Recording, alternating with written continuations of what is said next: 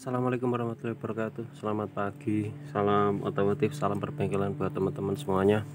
Khususnya pengguna Tata. Kali ini bengkel Barokah Badi Motor storing service ke Kabupaten Kediri Lebih tepatnya di Desa Ngancar atau dekat dari Dungung Puncak Gunung Kelut Kediri. Kali ini adalah penggantian kampas kopling dan ini langkah kerjanya pertama kita siapkan alat-alatnya dulu kemudian min aki kita lepas kemudian baut propeller kita lepas oli gardan kita kuras sama baut-baut pengikat transmisinya kita lepas semuanya. Dan kondisinya seperti ini karena pengerjaan sendiri saya menggunakan tambang ini untuk sebagai pengganti katrol atau kren buat narik. Jadi setelah bautnya terlepas semuanya transmisi ini nanti kita congkel keluar setelah keluar baru nanti uh, kita turunkan pelan-pelan. Oke kita lakukan pengerjaannya. Untuk bannya udah kita lepas semuanya. Bracket engine kanan kiri engine mountingnya kanan kiri udah kita lepas. Oke. Itu kemarin katalisirnya udah saya buang saya ganti seperti ini. Supaya lebih ringan di uh, tarikannya sama gas buangnya lebih lancar. Oke kita bongkar dulu kita turunkan transmisinya dan kita lakukan pembongkaran. Oke transmisi udah turun konstruksi katrolnya seperti ini ini kondisi dalamnya. Itu pilot bearing nanti kita ganti karena udah agak ada rasaan gergel-gergel sedikit daripada nanti bunyi sekali. Sekalian turun. Ini kondisi kampasnya. Dan ini kondisi mataharinya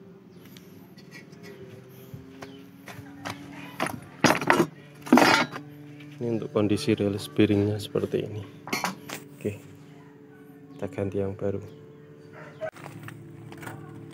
Pilot bearingnya atau input shaft bearingnya kita ganti sekalian karena ini udah terasa agak macet agak gergil sedikit dan tadi untuk melepasnya saya menggunakan kertas yang saya basahkan saya masukkan ke dalam tengahnya ini kemudian nanti kita tekan pakai baut atau besi yang diameternya sama dengan ini ke dalam nanti semakin padat semakin padat dia akan ngetrek keluar secara pelan-pelan.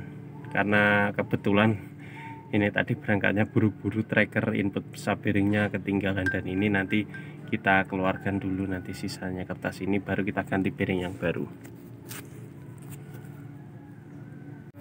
ini untuk input sabiring yang barunya.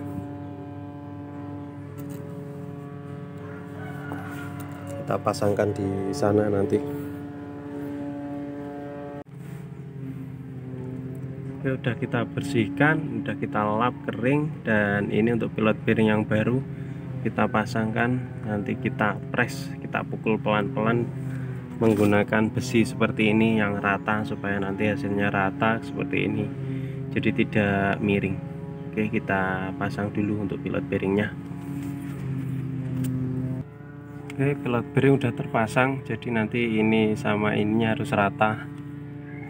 Terpasang dengan benar. Nanti tinggal sekarang kita pasang untuk kampas koplingnya. Kampas koplingnya seperti ini untuk yang yang model baru. Modelnya tetap sama cuma pegasnya ini lebih tinggi. Jadi nanti untuk koplingnya lebih ringan ini kondisi bedanya bahan kampas yang asli sama yang persamaan. Kalau yang asli dia seratnya baja. Nah yang persamaan itu cuma benang. Oke lanjut semangat terus.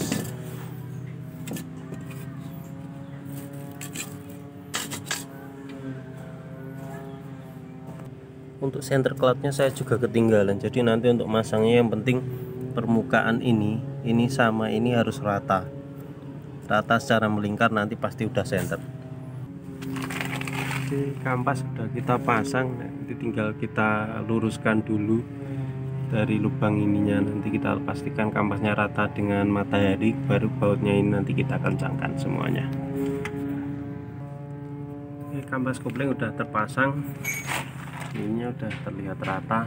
Dan beberapa mungkin ada teknik tersendiri supaya kampas kopling ini lebih ringan lagi. Bisa mengganjal plat mataharinya ini dengan ring plat tembaga atau ring plat biasa ukuran sesuai diameter bautnya ini. Kalau saya biasanya ring plat baut 10an itu nanti bisa membuat koplingnya pijakan koplingnya sangat ringan atau bahkan lebih ringan dari standarnya. Oke lanjut. Kita nah sekarang kita lepas untuk rumah input sub bearingnya ini udah kondisinya seperti ini sama nanti busingnya plastik ini sama yang ini kita ganti juga ini yang busing lower yang luar ini yang dalam. Nanti kita ganti sama kita bersihkan untuk tuasnya ini nanti kita cek apakah tuas ini nanti masih apa masih aman apa tidak karena dulu pernah patah. Oke. Untuk busing garpu kopling dalamnya atau tuas kopling dalamnya kita ganti baru sekalian sama rumah input sabirnya udah baret. Jadi kita ganti yang baru untuk part yang barunya.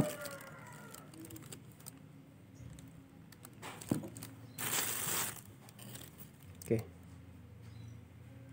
Sama rilis bearingnya nanti ini yang baru. Kita pasang dulu. Kampasnya tadi udah terpa.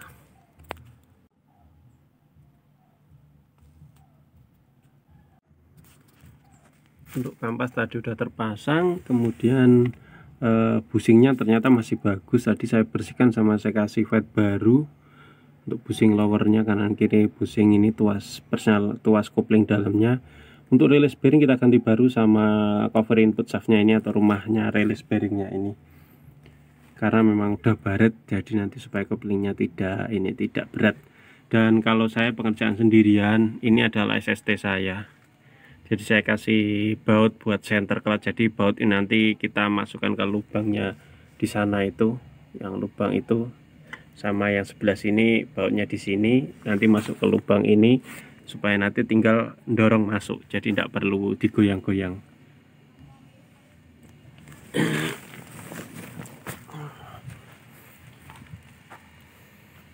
Ini untuk bekas yang kita ganti pilot bearing input shaft cover release bearing kampas kopling sama mataharinya patah. Oke semangat terus. Kita istirahat dulu. Orang servis di Gunung Kelut kita nikmati dulu uh, sarapan paginya dulu sama kopinya. Oke.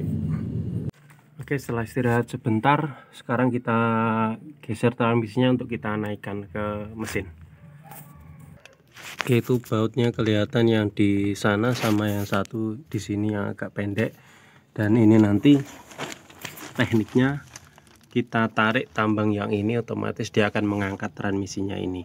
Setelah transmisi naik tingginya kurang lebih sejajar dengan ini dengan mesin baru kita dorong ke depan. Nanti tinggal uh, setelah masuk semuanya nanti kita baut untuk kelilingnya. Oke siap. Semangat terus setelah naik posisinya lurus tinggal nah ini untuk bautnya tadi udah sesuai lubangnya tinggal kita dorong. Ya udah oke udah masuk.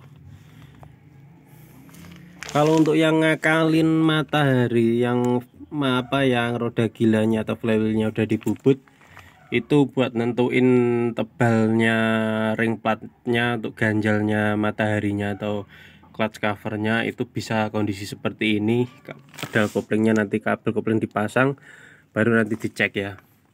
Itu nanti akan kelihatan kalau memang dia kabel koplingnya atau apa atau ganjalnya kurang tebal dia nanti pasti tidak bisa netral.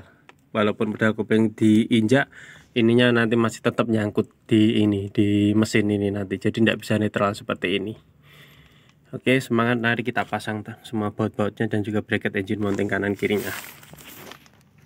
Oke ini adalah kayu sebagai alat atau tumpuan tambangnya tadi buat narik transmisinya ke atas. Dan kalau saya biasanya untuk pembongkaran saya lepas dari engine mounting. Namun untuk pemasangan baut bracketnya ini saya pasang belakangan karena memang biasanya untuk paut 14an yang sini itu masangnya cukup sulit kalau kita sendirian. Ya bisa kadang cuma agak lama sedikit. Kalau saya lebih melepas baut 12 nya ini 44 nya Oke semangat terus kita lanjut pengerjaan. Alhamdulillah unit sudah selesai kita lakukan penggantian kopling set. Sudah siap jalan siap digunakan kembali. Berikut part bekasnya. Oke lanjut.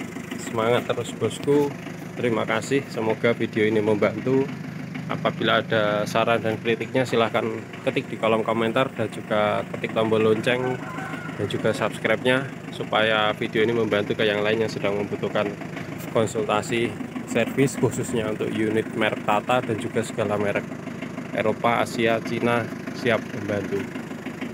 Sekian video dari saya, ada kurang lebihnya saya minta maaf. Salam otomotif, salam perbengkelan. Assalamualaikum warahmatullahi wabarakatuh.